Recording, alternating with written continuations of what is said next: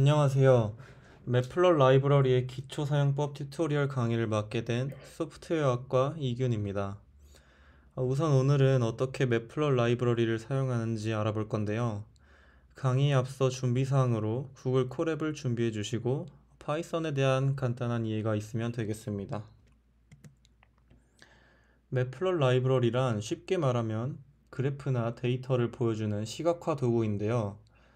어, 데이터 분석이나 인공지능 분야에서 많이 사용이 되고 있습니다. 따라서 Matplotlib 라이브러리를 이용해서 그래프를 그린다든지 NumPy 객체 같은 것들을 그래프로 표현할 때 사용할 수가 있습니다. 따라서 많은 양의 데이터들의 분포나 어떤 시각적인 형태가 있는지 또한 데이터들 중에서 어떤 데이터가 혼자 동떨어져 있는지 등 이런 outlier detection에도 사용이 될 수가 있고요. 어, 또한 어떤 그런 CSV 파일을 그래프 형태로 바꿔준다든지 할 때 이용할 수 있는 라이브러리입니다. 오늘 실습은 구글 콜앱 환경에서 진행을 하였습니다. 그럼 코드를 통해서 어떻게 활용되는지 익혀보겠습니다. 자, 바로 간단한 직선 그리는 법을 설명드리겠는데요. 어, 우선 pyplot을 간단하게 이렇게 plt라고 import를 하겠습니다. 어, plot 함수의 숫자 리스트를 입력하면 아래와 같은 그래프가 그려지게 되는데요. plot 함수는 리스트의 값들이 y 값이라고 가정을 하고 x 값을 자동으로 만들어냅니다. 보시면 이렇게 리스트에 1부터 6까지 써져 있는 것을 볼 수가 있고 어, x 값이 자동으로 0부터 생성이 된 것을 볼 수가 있죠.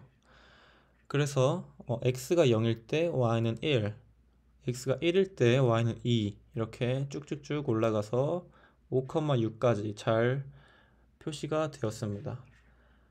그리고 이 show 함수는 그래프를 이제 마지막으로 화면에 나타내도록 해주, 해주는 그런 함수입니다. 네, 또한 이런 plot 함수에서 x축 데이터랑 y축 데이터를 다음과 같이 이렇게 따로 따로 하나씩 넣어줄 수가 있는데요. x가 1일 때 y가 1 그리고 x가 1일 때 y가 2 x가 3일 때 y가 3 이렇게 잘 나타낸 것을 볼 수가 있습니다. 이때 어, 타이틀이나 x 레이블, y 레이블 같이 다양한 정보를 또 기입을 해줄 수가 있습니다. 그래서 X 레이블이 이렇게 표시가 되었고요. 타이틀은 XY 그래프라고 표시해 준 것과 같이 이렇게 위쪽으로 타이틀이 생성이 되었습니다. 네. 또한 X 레이블과 어, Y 레이블에 padding과 폰트라는 속성을 적용해 줄 수가 있는데요. 이 오른쪽 그림을 보시면 어, 다음과 같이 X 레이블에 padding을 50이나 줬습니다. 그래서 이 그래프를 보시면 X 레이블이 이렇게 동떨어져 있는 것을 볼 수가 있죠. 그리고 폰트로 이렇게 컬러는 blue, 어, weight는 bold, 그리고 사이즈는 14와 같이 다양한 속성을 적용해서 나타낸 것을 볼 수가 있습니다. 그래서 어, Y 레이블에 어, 파란색으로 볼드체로 이렇게 크기 등이 변한 것을 볼 수가 있습니다. 또한 이러한 plot 이미지들을 저장도 할 수가 있는데 어, pyplot 라이브러리에 포함이 되어 있는 savefig 함수를 호출만 해주게 되면 다음과 같이 이렇게 Colab 노트북에 어, picture.png라는 이런 이미지 파일이 저장이 된 것을 볼 수가 있습니다. 어, 만약 local 환경에서 돌린다면 local 환경에 잘 저장이 될 것입니다. 네, 다음으로는 legend에 대한 설명을 드리겠는데요. 어, 보시면 어, legend라는 이런 함수를 이용을 해서 이런 레이블을 표현을 할 수가 있습니다. 어, 또한 다음과 같이 어, 이런 그래프를 어, 두 개를 그릴 수가 있는데 이때 plot 함수를 여러 번 호출함으로써 각각의 곡선을 그래프에 표시를 하고 스타일을 설정을 해줄 수가 있습니다. 또한 이런 어, 원래는 이쪽에 있었던 레이블의 위치를 다음과 같이 오른쪽 밑으로 옮긴 것을 볼 수가 있는데 어, 오른쪽 그림과 같이 어, 로크는 lower right라는 이런 속성을 적용해서 레이블의 위치를 오른쪽 밑으로 옮긴 것을 볼 수가 있습니다. 만약 왼쪽 그림에서 데이터가 이쪽에 왼쪽 위쪽에 다 몰려 있다면 레이블과 겹쳐서 잘 안 보이게 될 텐데요. 이럴 때 레이블의 위치를 적절하게 이동을 시켜서 어, 데이터와 레이블이 겹치지 않게 해줄 수가 있는 것입니다. 또한 레이블의 열 개수를 달리할 수도 있는데 디폴트로 n column이 1이기 때문에 이렇게 여러 레이블들이 세로로 나타내지고 이렇게 세로로 나타내진 것을 볼 수가 있죠. 하지만 이렇게 n 컬럼이 2라고 나타내주게 되면 이렇게 1행 2열로 가로로 나타내게 됩니다. 또한 추가적으로 알려드리고 싶은 게 마커라는 것인데 이렇게 마커를 이용해서 다양한 옵션을 줘서 그래프의 점을 이렇게 찍을 수가 있습니다. 이전에는 그냥 이런 실선 형태의 데이, 어, 그래프라서 데이터가 어디 있는지, 데이터의 개수가 몇 개 있는지 잘 파악을 하기가 어려웠다면 이렇게 마커 옵션으로 좀 더 수월하게 어디에 데이터가 찍히고 이걸 선으로 이으면 어떤 형태가 되는지 파악을 할 수가 있습니다. 네, 다음으로는 선 종류를 나타낼, 나타내는 법에 대해서 배워보겠습니다. 이렇게 선, 선을 실선으로 하느냐 아니면 이렇게 대시드로 하느냐 아니면 아주 작은 점인 더트로 하느냐 아니면 이걸 섞어서 대시 더트로 표현을 하느냐에 따라서 이런 네 가지 옵션이 있는데 매플러 라이브러리에서 선의 종류를 지정하는 가장 간단한 방법은 폼의 문자열을 사용하는 것입니다. 이렇게 다음과 같이 이런 대시 하나만 적용해서 이런 솔리드를 나타낼 수가 있고 어, 따따 이렇게 두 개를 사용을 해가지고 대시드를 표현을 할 수가 있고 그 다음에 이런 콜론을 사용해서 이 점, 도트를 사, 표현을 할 수가 있고 그 다음에 대시랑 점을 이용해서 대시 도트를 표현을 할 수가 있습니다. 그래서 어, 그래프를 그린 것을 보면 다음과 같이 이렇게 잘 나타내진 것을 볼 수가 있습니다. 또한 plot 함수에서 이런 line style 파라미터 값을 적절히 지정을 해줄 수가 있는데 이때 문자열 포맷과 같이 solid, dashed, dot, dash dot이라는 이런 네 가지 선 종류를 지정을 할 수가 있게 됩니다. 결과는 아까와 동일합니다. 네, 다음으로는 어, 여러 개의 그래프를 한꺼번에 그리는 방법을 설명을 드리겠습니다. 이때 matplotlib 라이브러리의 pyplot 모듈에 subplot 그리고 subplots라는 함수를 이용하게 되는데요. 이때 s가 어, 붙어 있는 것을 볼 수가 있죠. 그래서 구분을 하시라고 어, 두 개를 같이 설명을 드리겠습니다. 우선 subplot 함수는 여러 개의 그래프를 하나의 그림에 이렇게 나타내 주게 됩니다. 그래서 하나의 plot, plot에 두 개의 이런 그래프들이 나타낸 것을 볼 수가 있는데 이때 subplot에 2,1,1이라고 되어 있을 때 각각 어, n row 즉 행의 개수 그리고 n columns 열의 개수 그리고 인덱스를 나타내 주게 됩니다. 네, 그래서 이 첫 번째 예제를 보면 우선 x를 파이 곱하기 10이라는 너비에 500개의 점을 찍어서 균일하게 찍고 이때 이 순서대로 첫 번째 인덱스의 이런 사인 그래프 그리고 두 번째 인덱스의 코사인 그래프를 그리게 해서 각각 사인 그래프는 위에, 코사인 그래프는 아래에 위치하도록 합니다. 네, 또한 헷갈리기 쉬운 이런 예제를 갖고 왔는데 이번에는 subplots라는 이런 함수를 이용해 볼 것입니다. 이 subplots라는 함수는 어, figure를 만들어 주게 되는데 이때 fig랑 axis라는 값을 리턴을 하게 됩니다.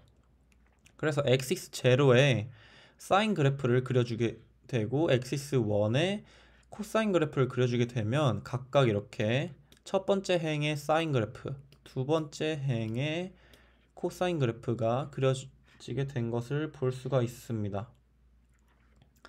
근데 만약에 이렇게 1,2라고 그려지게 되면 하나의 행에 두 가지 그래프가 한꺼번에 그려지게 된 것을 볼 수가 있죠. 네, 다음은 지금까지 배운 내용을 바탕으로 퀴즈를 하나 풀어보겠습니다. 여러분들은 잠깐 일시정지 하신 뒤에 정답을 확인해 주세요. 네, 우선 문제를 한번 살펴, 살펴보면 어, y는 x제곱 그래프랑 y는 마이너스 x 그래프를 한꺼번에 그리는 문제이고 이때 x의 범위는 마이너스 9에서 9, 9까지입니다. 이때 num파이의 어레인지를 이용해 주면 되겠습니다. 또한 그래프에서 여러 가지 속성은 다음 여기 힌트를 참고해서 한번 각각 직접 해주시면 되겠습니다. 네, 그럼 각자 한번 해봤다고 가정을 하고 어, 정답을 한번 보겠는데 정답은 다음과 같습니다.